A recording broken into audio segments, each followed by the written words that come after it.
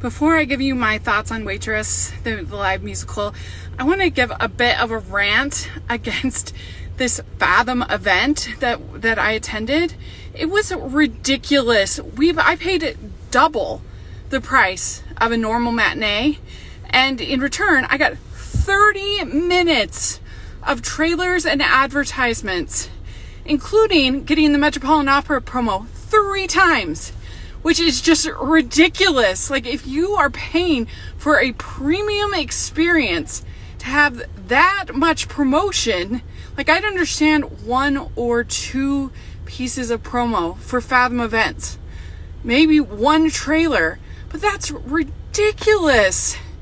I mean, no wonder people don't want to go to the theaters anymore. They have to deal with stuff like that. And especially if they know this is coming on demand in a few months. It's ridiculous.